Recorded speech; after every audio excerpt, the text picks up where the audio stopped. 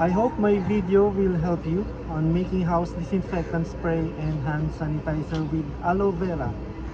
Please do subscribe and share it with others. Thank you.